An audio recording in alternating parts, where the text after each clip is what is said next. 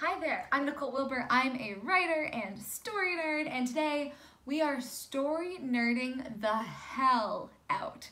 So 12 days ago, yes, 12 days ago, Sony Pictures put the first episode of the pilot episode, I guess, of Pan Am on their YouTube channel. It now has over a million views, and I am very excited about it.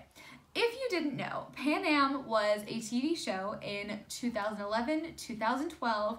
2011, 2012 was the time of amazing TV shows that only got one season. I don't know if it was like the Netflix effect was happening by then or what, but there was Pan Am, there was Terra Nova, there was Off the Map. These truly excellent shows all canceled. It was very upsetting.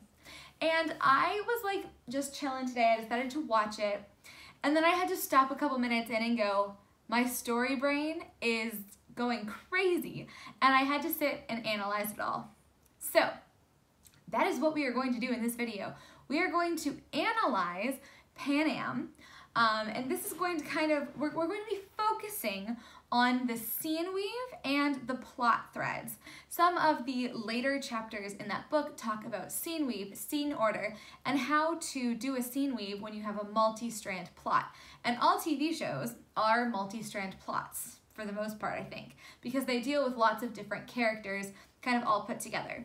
Um, so I think a multi-strand could also be called like a plot archetype if you're talking in Brandon Sanderson language, a plot thread, a story thread, a narrative thread, whatever you want to call it. That's what we're calling it here.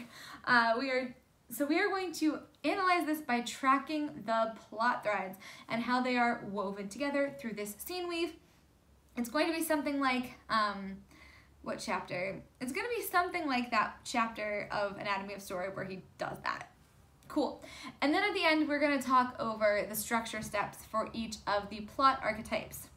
The first part though, we have to do all of the setup. And so I have analyzed um, the first 10 minutes of the pilot, and then we're gonna get more summary-wise once we've set up all of the plot threads. But the first 10 minutes of this pilot are so good, and they use so many strategies that I think are genius.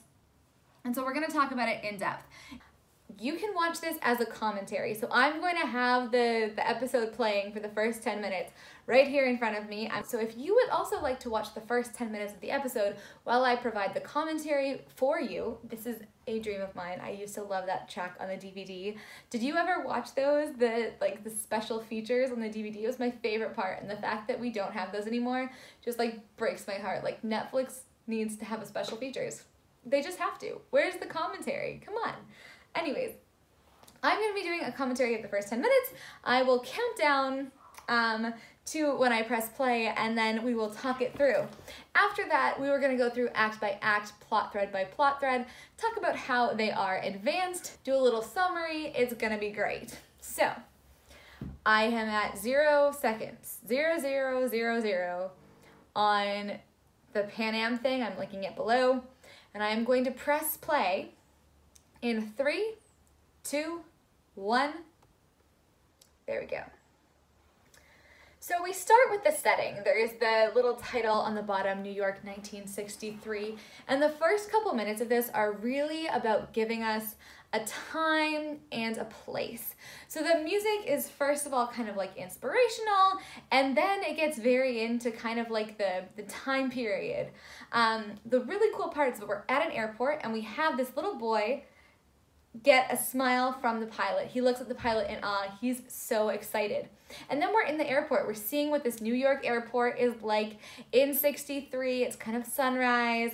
Um, we see people like checking their luggage. There's no security because this is very pre 9 11. It's very exciting. And so then what happens is very soon we're going to see the Life magazine. So we see the Life magazine being brought through the airport, and we get a little bit of exposition in the form of the stewardesses reading the magazine out loud. They kind of say, you know, who stewardesses are. They're college educated, they fly until they're married. Um, but it's still interesting exposition because next second we're looking at the girl on the cover. And we get a really interesting bit of conflict here. This is between Laura and the lady who's stopping her. She's kind of critical. There's a power dynamic. Um, the lady has more power, even though Laura was on this cover. She like smacks her to check for the girdle, which is completely ridiculous. Um, Laura is clearly in the power poor position here. She's new, she's intimidated, and it's interesting because that being on that cover is disruptive to the power dynamic. And all Laura, poor Laura, wants is different stockings. And finally, Colette runs in, saves her, and kind of restores Laura's importance a little bit. So this bit where they're just kind of like walking through the hallway, this is about giving a little bit of that power back to Laura. And this is where we get our first curiosity seed. Laura has been at Pan Am for three weeks and two days. How the hell did she get on the cover of Life magazine as a Pan Am stewardess? And we hear Colette say this, when did they pick you? How did it happen? And Laura, Margot Robbie, says, I'm not sure exactly. And that's a curiosity seed, because how is she not sure? Curiosity Seed 2, it's right there as Kate looks over as Laura walks past. Um, she kind of gives a look, it seems kind of jealous. And then we see Laura talking to the other stewardesses and Kate comes over. And she's kind of like, trust her, she's not looking for a husband. There's clear tension. Kate tries to kind of resolve it and be nice. Um, Laura comes over and apologizes. It's very much a curiosity seed is what is the relationship between these two, what's going on. You see that Kate is very much an insider. Even though Laura is like the famous one, Kate comes over and offers to bring gum and it's kind of obvious she's around her friends. Laura is the newbie, uncomfy, unsure, asking questions. We also get Curiosity Seed 3, which is where is Bridget? Then we get to the bit where Kate is buying the gum and this dude comes over and they have a little interaction. It's pretty chill, you know, we get more of the tension on her looking at the Life magazine. I don't want to buy it, you know. Very pretty girl, yeah, she's very pretty. There's more of that tension for curiosity seed number three about their relationship. And then we get the biggest revelation, and notice this is about three minutes in. He says, Are you ready for your first assignment? And that is a curiosity seed. This is our hook. Um, she has given her first assignment, which is to switch the man's visas, so he'll be detained at customs in London. She says, without him knowing, he says, I'll take that as rhetorical, which I think is funny. We know immediately she's doing something covert or illegal, and we get curiosity seed number four, which is who is Kate working for? And the major dramatic question, which is will Kate be able to switch these visas? And like, what's going on with this man? Um, the major dramatic question is, yeah, somewhat like that. Um, right after that, we go to Maggie, who's in this liberal kind of apartment, very different than the world we were just in, right? So um, Maggie, you know, she's she kind of she wants to fly, and the guy on the phone really, really wants her to fly.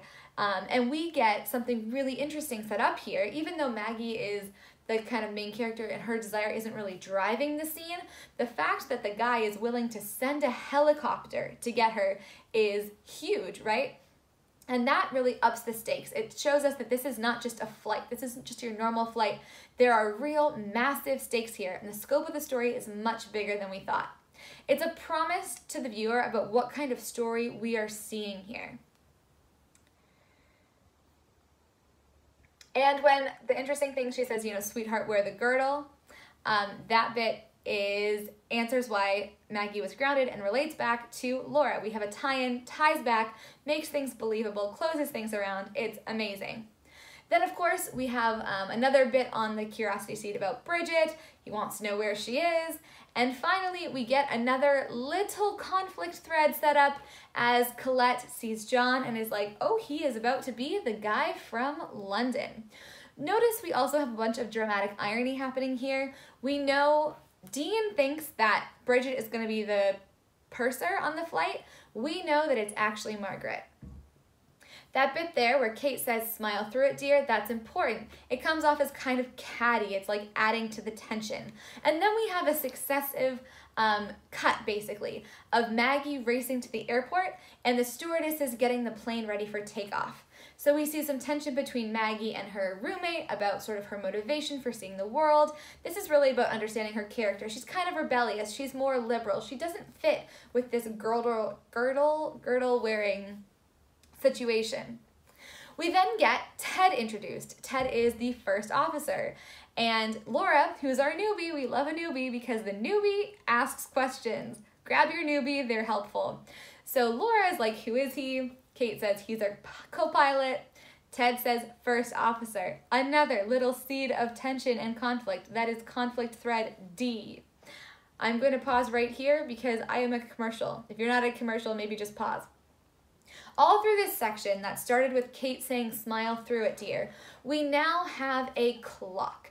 Now, a clock is usually introduced um, in TV shows and movies, like kind of later in the story to amp up the tension. For example, in Shonda Rhimes' masterclass, she talks about a clock being introduced kind of in Act 3 or 4, right near the end, um, in order to get through it. And um, actually, in both the Scandal and the Grey's Anatomy's pilots, someone literally said around Act 3 4, the clock is ticking fast, people. Here, though, the clock is actually used at the very beginning. The clock is this plane is taking off. We know the plane's gonna take off, and everyone's like getting ready for the takeoff. So we have Maggie rushing crazily across the city to get there, and we have the crew. We have the crew preparing for takeoff. This creates a ton of forward momentum in the story as all of our goals are being established. So we're setting up, right? We're setting up all of these conflicts, we're setting up all of these curiosity seeds. By the way, at this point, which is we're like five, six minutes in, all of the plot and conflict threads, um, curiosity seeds, they've all been set up at this point for the entire rest of the episode. And major dramatic questions for the entire series have also been set up. And we'll get more into detail at the end of this 10 minutes. Um, but that is a lot to do, right? It's a lot to establish. It could be slow. But instead of being slow, they create a countdown, they create a clock, and even though like it's not a major question, like is Maggie going to make it? We think she is. It creates this like very exciting, sweeping excitement forward momentum. Okay, I'm gonna um, play my thing again. Oop, I got another ad. I'm so sorry. That sucks. Skipping ad. There we go. All right, we have Maggie in the taxi. We have some humor here where she's you know, changing. She tells the, the taxi driver eyes forward, and we get a lot about her character. Um, Maggie doesn't have a big role in this, but she's really just building the character. She becomes um, important. Then we get Dean arriving at the plane. Um, he kind of walks into the, co- the cockpit, and there's some teasing about him being nervous. Dean and Ted kind of joke around. You know, Dean says Pan Am wants actual pilots in the left seat. It's good natured teasing, but we can see that it kind of is striking a nerve with Ted. We kind of see his like ah look on his face when he's like, oh, that was like a, a joke, but it kind of it kind of dug a little bit. We have here um, Maggie is running, and we see then the passengers slowly boarding the flight. So who do we have getting on? We have the target. So the person they're switching the visa with boards the flight here. Kate clocks that she's gonna have to do the swap. That's our conflict B. Um, and that first obstacle for her that this guy is not going to make it easy. He's going to not give his jacket. He's not going to give her his briefcase. Um, that becomes very clear. And immediately we know the intention, we know the obstacle, and in a few lines that is set up. And she's like, oh God, here I go. This is going to be difficult. We see Maggie get in a helicopter. Again, we're doing this crosscut here um, of her kind of just racing, keeping that excitement up of this being a big, a big deal. Then around eight minutes and five seconds, John rushes in to talk to Colette. She's happy to see him. And next moment, in comes his wife. This is our first reversal, our first surprise, our first twist. This is our conflict C. It's a reveal, it's a quick twist right at the beginning. The long glance between them, we know exactly what's happening. We know exactly what the situation is. The wife is pleasant and unaware. We got her emotional state. We have our surprise. It's awesome. Maggie runs onto the plane. Um, at this point, she's getting through the airport. She's grabbing things. and she slowly gets onto the plane and when she gets on everybody is surprised and confused because they thought bridget was coming but of course we knew dramatic irony we knew that it was maggie the whole time and that was also a source of tension for us as she was rushing to be there we're like oh, it's not who they think is coming There's a blink and you'll miss it moment where Maggie expresses surprise, like, Dean, you're a captain now, question mark? And that gives a bit of fodder to conflict D, maybe a little bit of a curiosity seed. Conflict D being between Ted and Dean. There will be a resource to follow along with this. They're kind of going back and forth, they're chatting, we get the banter, we get the crew dynamic, very nice. And we have, again, that kind of like, just maybe like life on the plane, life at the shop sort of thing. They're nice to each other. Then at 9.41, we get the answer to curiosity seed number two resolved. When Maggie looks at the register, she says Laura Cameron, and Kate says, my sister. And suddenly we know the relationship between these two. Kate says, I can't seem to escape her. She shows the magazine, and Maggie's like, wasn't that something? And you get a little bit of a vibe of like a, the sisters knew this is odd, this is a different scenario. You see Kate cover the Life magazine with a different one. You can see a bit of judgment. Everyone clearly thinks Laura was picked, doesn't think it's really necessarily fair. And um, that kind of goes back to our Kate versus Laura conflict. And then we see Dean, right at 10 minutes exactly, say clear for takeoff. This is the end of our clock. We are launching. We are launching the series. We are launching the plane. We get this moment of like real excitement, awe, and adventure. Dean and um, Ted look look at each other. Everyone on the flight is kind of like looking around, peering. Colette's looking at John. Um, Kate's looking at her target. Maggie and Laura are sitting next to each other, and Maggie says, um, You know, you're new, aren't you? And Laura is so nervous. And then Maggie says, Better buckle up, adventure calls. And we get this huge moment of like excitement, grinning. We get the vibe of the period, we get sort of the underlying vibe of the story, which is we're going to be exploring this like exciting, new, thrilling time where people are kind of just starting to travel, just starting to explore these people are coming into their own. You know, this is a big thing for them. They grin, they take off, and we get the title card. Whew. Okay, people who do commentaries, I have no idea how. That was a lot of work. So that was the first 10 minutes. And in that first 10 minutes, they set up, let me read this for you. They set up one, two, four curiosity seeds and four conflict or plot threads. So a curiosity seed is basically like an information plot archetype. Um, so that kind of plays out and then we have four actual plot lines or conflicts. There's probably like some smaller ones, but these were the major ones that I could see. They also not only planted eight things, but they also resolved one. So the, the seed of um, why is Kate so jealous of Laura? Like their relationship seems weird. We got that answered Kate is Laura's sister. And it's always a good idea, I think, in, early in a story to resolve a curiosity seed because it gives the audience confidence that you are going to resolve your curiosity seeds and you're going to give them answers and know what you're doing. So, on my spreadsheet here, which I will link below and I might throw in a snapshot as well, I have the things all listed. So, let's go over our let's go over our seeds. So Curiosity Seed 1 is the Life magazine picture. Laura said, I don't know how it happened. So that's weird. How do you not know how a picture happened? That's a question that we have. Seed 2 is what's the relationship between Laura and Kate? That's resolved. They're sisters. There's more there, but that will come out kind of in their conflict. Seed 3, which is a big one, is where is Bridget? Seed 4 is what is Kate doing and why? Like, who is she working for? Who is this guy? Like, what's going on?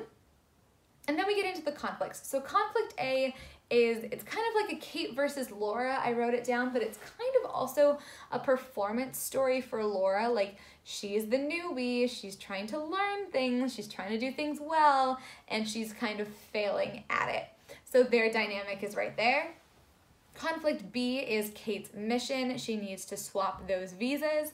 Conflict C is Colette and John, and conflict D is um, Dean and Ted.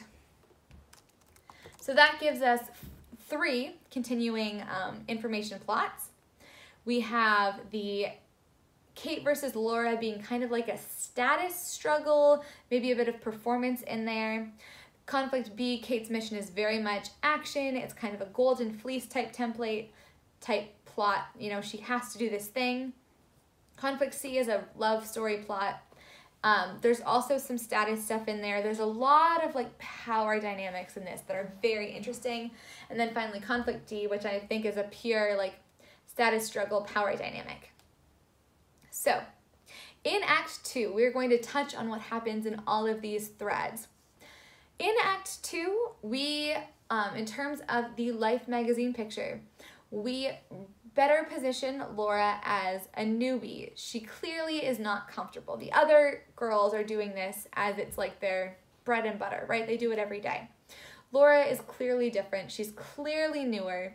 Um, she awkwardly interrupts these newlyweds. She's taking their picture. She's not sure what's going on, asking lots of questions. I love how Brandon Sanderson is like, I think it's in, in his heist, um, when he talks about the heist in his lectures, and he's like, one beat is like you grab your newbie, and she's our newbie. Gotta love a newbie for helping explain information. But it's interesting, and this is something that they do that you're always told not to. It's like, do not do flashbacks. But actually, a very large chunk of this first pilot is flashbacks, and I think it's actually pretty well done. I think it works because they've set all of these plot threads up in the first 10 minutes. We kind of know where things are going, we have a lot of questions, we're wondering, and then the flashbacks themselves are very compelling and directly relate exactly to our questions in the present. So the first flashback is Laura's wedding.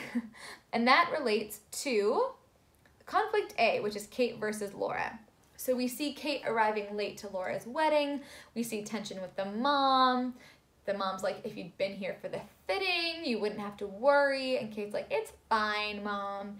And then the mom's like, Kate, stop, just stop. And you're really getting a sense of like who these two characters are. Laura is the little sister who's never made a decision for herself her whole life. She's like the perfect child. Um, you know, the mom loves her, and Kate is more of the rebel, and she goes off and she does things and she stands up to her mom. We see Laura going through Kate's suitcase and then having a complete panic, and she, uh, the mother says, um, complete panic. Kate and Laura go back and see her, and they're like, "What do we do?" And the mom says, it's nerves. Just smile through it, dear. And that's where we get our first callback because in the first 10 minutes, as Kate and Laura were boarding the plane, Kate looks at Laura and with this like kind of attitude is like, smile through it, dear. And it comes off as kind of like catty, but we actually realize it's an inside joke. She's kind of like making fun of their mom a little bit, like calling back their mom. It's like this, it's like a family tie. It's really cool to see. So we understand that earlier line. Then we get a very humorous runaway bride situation. It's a great character moment because Laura is making a decision for once in her life. That's also really well set up. And you can you can tell from the beginning how uncertain she is versus compared to Kate. You see her at the wedding. Kate literally says she's never made a decision, and we're seeing the moment she actually makes a decision. And then, of course, we see the moment where Laura is like, I'll become a Pan Am stewardess, and Kate crashes the car. And so you get a sense of what dynamic is happening there. Um, is happening in the present, which is basically Laura has invaded Kate's turf, like a lot. Um, and Kate was not prepared for it. She wasn't expecting her little sister to be there. It's very different than what she expected.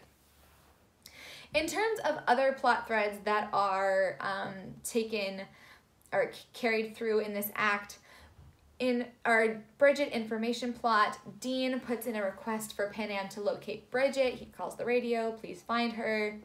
Um, Kate double checks who her target is, um, make sure she has the right person. Colette helps John's wife like a little bit, put something, um, put a suitcase up. And then um, Ted very early on in this act says to Dean, I don't think I'll be able to call you captain. He's like, maybe I'll start in Spanish, capitan. And um, it's a joke. It's a joke, but I'm, again, there's this underlying tension. The underlying tension being Ted's kind of wondering, like, we were on the same level, now you're ahead of me. Why? He's not totally happy with it. And it's a very interesting dynamic that we have there. Then we go to Act 3. In Act 3, we get a lot of flashbacks. So uh, the flashback is mainly um, hold on. Okay, the flashback is mainly of them in Rome. In fact, this whole act is pretty much this flashback from Rome. So it starts with John coming back to talk to Colette, and he says, You know, I'm sorry, I didn't know you'd be on this flight. Again, I love the like the subtext here and because he's saying like, Oh, I'm sorry, like I didn't know you'd be on the flight. And Colette says, Well, I'm sorry, I didn't know you had a wife. like, that's not what you should be apologizing for, like being on the flight. Wrong thing, buddy. So I love like the implicit, really good tension happening there. And it's right, you're getting everything conveyed to you without needing it to be laid out. What I love. It's great. So the guy is trying to explain himself. He's like, oh, but I didn't, and uh, I thought you understood. And then, and this is such an emotional impact, and you can tell the emotional impact that it's having on Colette when his son comes over and says, Can we please see the cockpit? And so Colette is being very professional. She goes and she takes her lover's son up to the, see the pilots. And that's when we get our flashback to Rome. And the flashback really just starts with like this very covert sort of coordination of adjoining rooms. We see Colette and John walk to their rooms, open the adjoining doors between them, and then like hook up. um, in terms of the purpose of this, I don't really know what it is because we know that they hooked up. It's very clear. And like we see that she was happy, but like nothing else really happens. Like, oh hey, like yeah, they definitely made out, but we already knew that they'd had sex. I don't know if it was meant to kind of show you how to be subtle or like how they had to be more subtle in the 60s, if it was meant to be more of a world building thing, or if on the other hand, it was just trying to show a contrast in the relationship and get us to Rome. Because us getting to Rome is very important in this act. Because of the information plot about Bridget. And this is where that plot line and the spy plot line and everything is really very much built upon.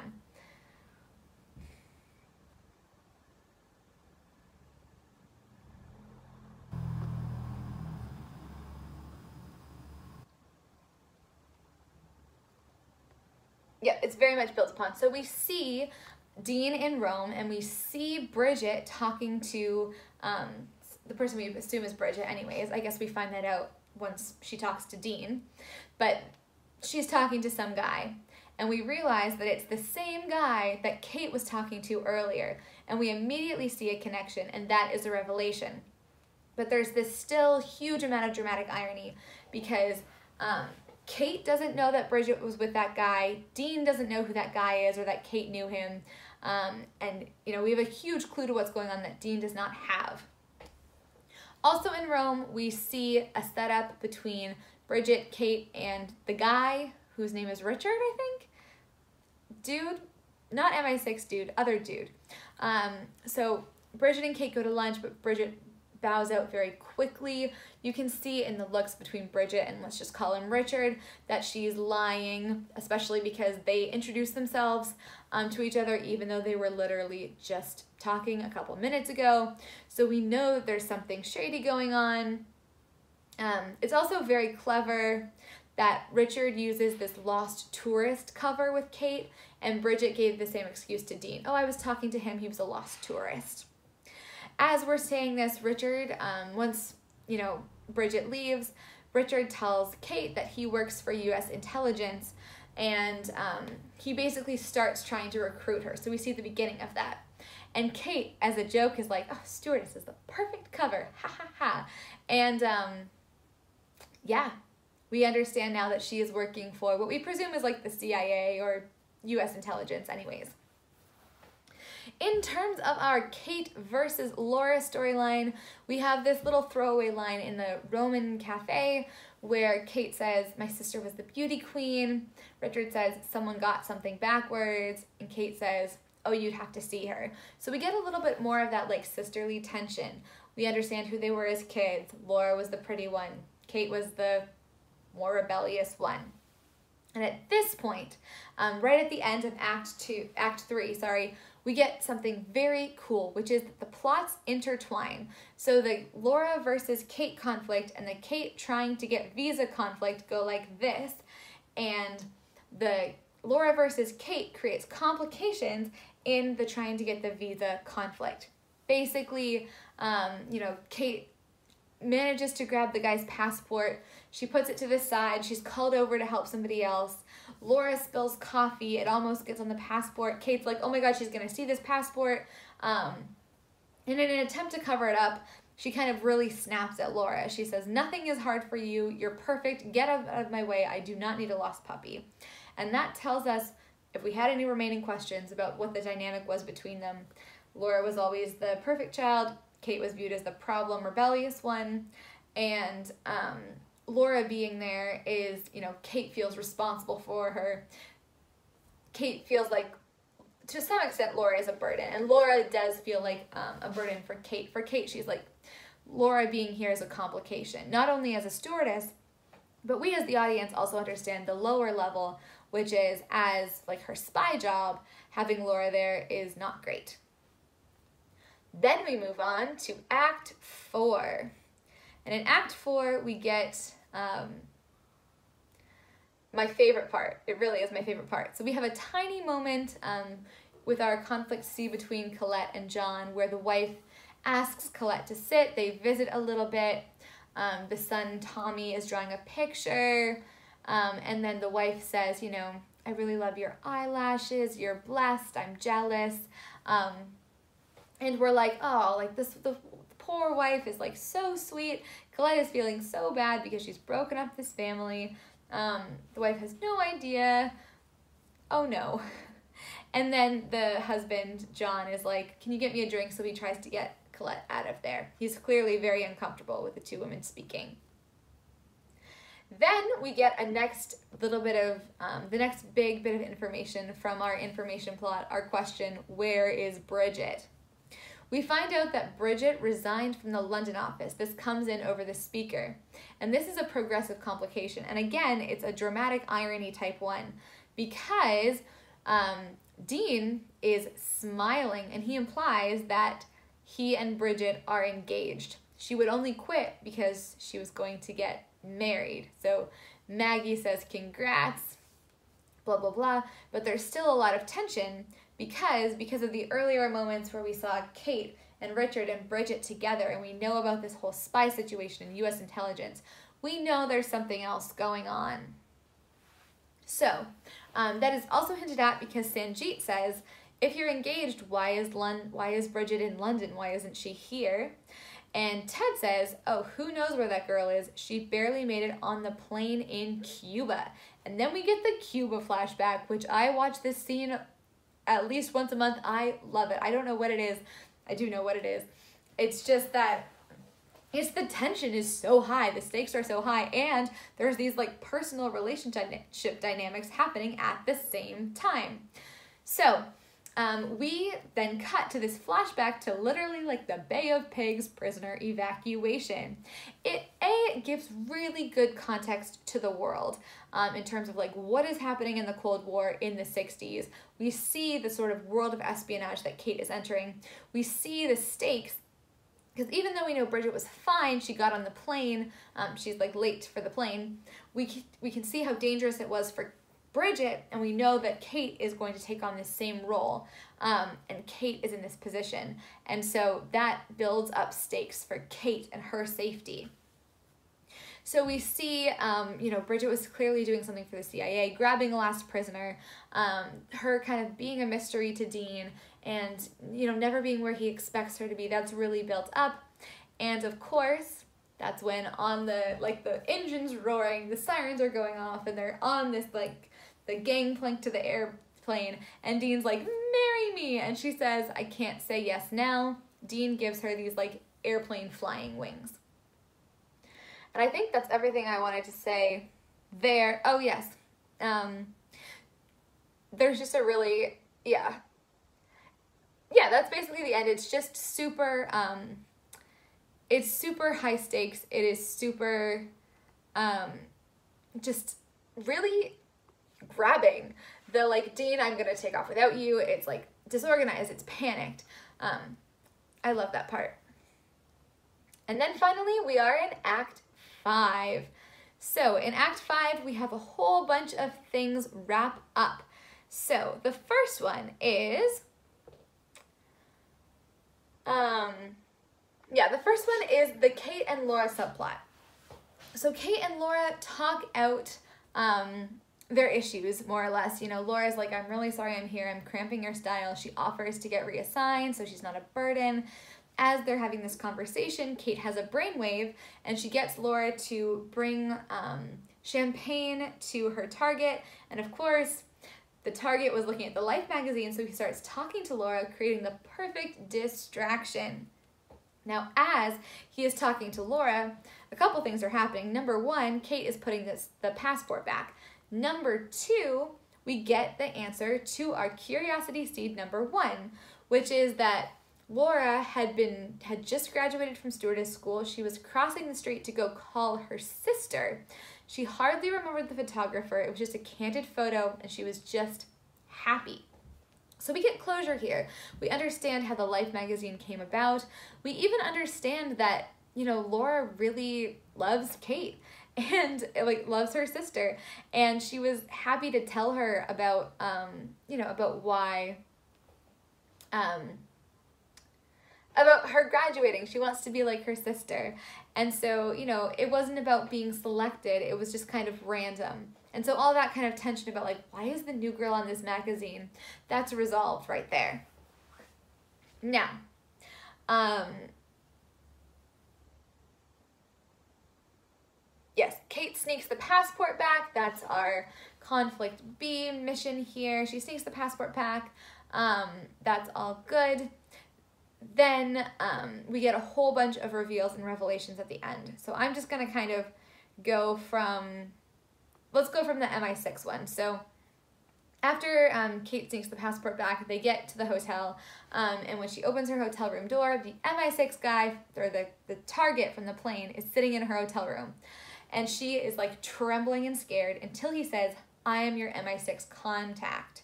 She finds out who he is. We learn that it was actually a test. Then that veers into contributing to our information plot number three, our curiosity seed number three, where we learn that, um, well, I guess information plot number three and four, where we learn that Kate is basically replacing Bridget. And the MI6 dude sets up what she's going to be doing for the rest of the season. He says she's going to be identifying diplomats, posing um, as um, identifying diplomats, watching certain people crossing, and acting as a courier. And Kate has a much better understanding now of, you know, how she was recruited, why she was recruited. We have an understanding that this role is going to be maybe dangerous for Kate because Bridget's gone. We don't know what happened to Bridget. And um, we also know what she's going to be doing. So we know that this espionage thread is going to continue through the season. At the same time, um, we resolve the Colette and John thread by the wife coming back to grab her purse and she reveals she knew about the affair. So everything, that's a huge reveal because everything that happened earlier in the show is suddenly like, whoa, she knew all along, craziness. Um, the line that was like, oh, you're blessed, I'm jealous, takes on a new meaning when you realize she knew that Colette was sleeping with her husband. And then she says something, um, you know, like probably somewhat justified, but like a little petty because it's not Colette's fault. It's the husband's fault. But she says, um, you know, keep this picture, keep her son's picture, put it on your fridge as a reminder not to sleep with other women's husbands. So that happens. Um, it's a big reveal for us. It doesn't seem to affect Colette too much. She's like, okay, moving on. Um, so it doesn't have a lot of staying power. In fact, Colette, I think, in this entire series has the least, like, through line, through line, because she's with John, and then she kind of has a romance with Dean, and then she has a romance with the prince, and then there she learns about her family. She's the least linear, I think, character, the least kind of obvious and proactive in like what she wants and consistent in what she wants. And then of course, we get to our final big question, which is kind of framing like the mystery of Bridget and the consequences of her disappearance, which shapes the rest of the season. although not quite as tightly as I think they could have done. Um, but anyways, Dean tries to call Bridget. The line was disconnected. He goes to her apartment. It's empty. He finds the wings. She left them there. She's saying no to his proposal. She's gone. Um, she's completely gone. And that is doesn't really answer where is Bridget, but it's certainly a, a an ending point for that arc. And then we get to this nice kind, um, nice time kind of at the end. So remember in Act Two when Ted was, you know, Ted and Dean has have this power imbalance, and Ted is not calling Dean captain. Uh, but then they're sitting at the bar after you know Dean can't find Bridget. They're drinking. Dean Ted is saying, you know, if Bridget was predictable, you'd lose interest. Dean expresses some sadness, and then Ted is finally like, with the power balance a little bit more restored, like they're friends. Dean is confiding in him. Um, you know, he's in a sad sad point. Ted very deliberately is like, "You did a great job," and he calls him captain. And that's a big moment.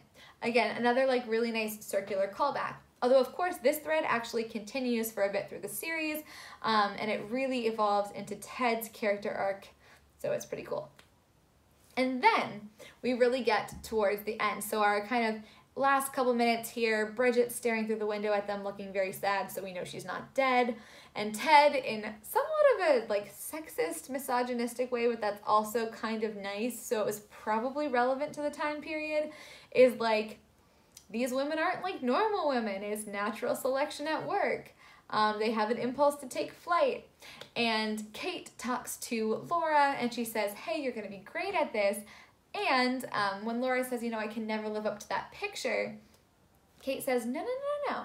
You don't have to live up to it because it's not just you, it's all of us. It's look what we represent. Look at this new era, this sense of beginning and freshness and newness. And then our closing image is a little girl looking up in awe at the stewardesses, just like the little boy did at the beginning looking at the pilots. So it's kind of this like, oh, age of the modern woman type thing going on there, which is pretty cool we have a lot of plots that are very much like power status struggles here. Um, you know, you have a lot of power reversals, and I think that's why it makes it so interesting. Like the the reversal of the wife knowing about the affair, that's a big power shift, right? Um, the Ted and Dina's power shift, Kate and Laura, like newbie sister, supportive, not supportive. There's a big power shift there. So to summarize, I am going to go through each of the plot threads and do the desire, endpoint, opponent, plan, conflict, and twist reveal for them as a summary, and then we're going to wrap it up. All of this, of course, can be found at my website. You can just download it. There's no, you don't have to sign up for anything, but if you want access to the Google Sheet, there it is. So, here we are. The plot thread of Kate versus Laura wants to be a good So the desire to Laura live up to her image in the Life magazine, and she wants to be really good at her job, like her sister. Um, her opponent is Kate. Kate is critical of her, and Laura is also her own opponent because she's like very uncertain and doesn't really know what she's doing. Her plan is to just like freaking ignore the Life magazine and just try her best. The conflict is she doesn't have the skills yet, and everyone keeps bringing the Life magazine up. Kate gets really annoyed with her. Our twist is the photo in the magazine was a total fluke. Um, and then the end point, Kate tells Laura she's going to be a great stewardess, and Laura gains some confidence. In terms of Kate's mission, her desire is to switch the visas in the passport. Her opponent is the target, the guy. The conflict, or her plan is to use her job as a stewardess to get access to that passport. The conflict is the guy is like very troublesome, won't let her take any of his things.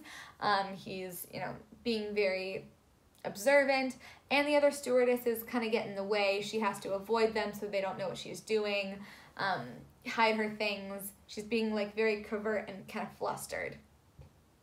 The twister reveal is that the target was actually her MI6 handler and it was a test. The other kind of reveal is that she is Bridget's replacement. And the end point is, you know, she succeeded, but she found out that she's Bridget's replacement. And that sets up a lot of like questions and potential tension for what kind of danger she might be in in the future. The next plot thread is Colette and John and the wife, who I don't think, whose name I don't think we ever learned, so I don't like calling her the wife, but she doesn't have a name, so Um, this one was a little bit, I said that Colette, like, is hard to know what she wants throughout this whole series. I think that's really reflected here. So Colette originally wants to be with John, but then about eight minutes in, we see that he's married. And so then I don't know what she wants, like just to kind of get through the flight, more or less. Um, to feel better? I don't know.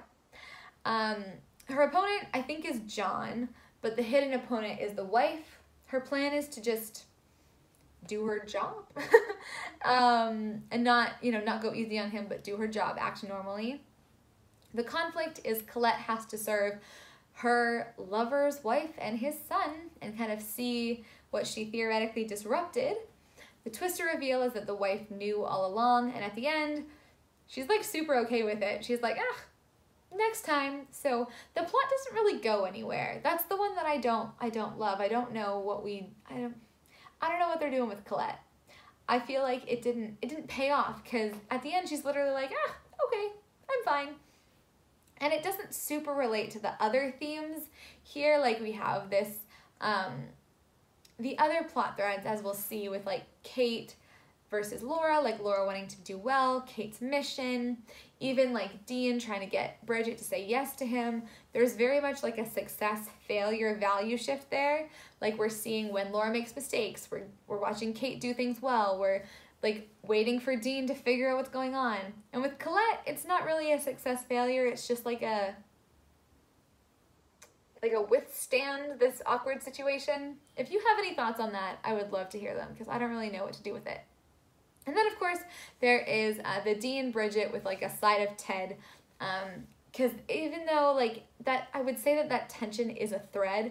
It there's no real desire there at this point, so it's Dean's desire that's really driving things, which is Dean wants to marry Bridget. Um, his opponent is Bridget. His plan is to find out where Bridget is. The conflict is he's having a hard time getting the information. Bridget is not talking to him, and also at the same time, Ted, Ted presents like some tension to his position as pilot, and it's kind of like. Eh, the twister reveal is that um, Bridget was a spy and now she's gone, although Dean does not know that she was a spy or that she's permanently gone. And the end point is Bridget has disappeared, and um, Dean is not with her, but Ted, you know, kind of offers some friendship. Wow. I just talked straight for 45 minutes. I am not editing this thing. This is so long.